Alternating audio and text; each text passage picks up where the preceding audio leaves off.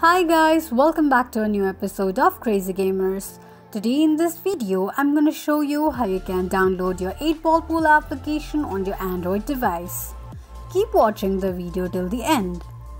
To download your 8 ball pool application on your Android device, firstly go ahead and launch open your Play Store. On the search box at the top type in 8 ball pool and make a search. You're going to see the search results displayed on the screen. Simply tap on Install button right next to the application to begin the downloading process. While downloading an application, make sure that you are connected to a strong internet. Once the application is downloaded, tap on play button to launch the application.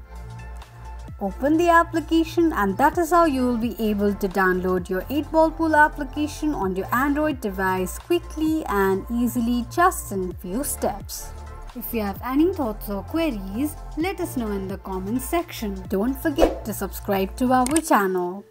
Also, press the notification bell icon so that YouTube will notify you whenever we post a new video. I hope this video was helpful to you. Thank you so much for watching.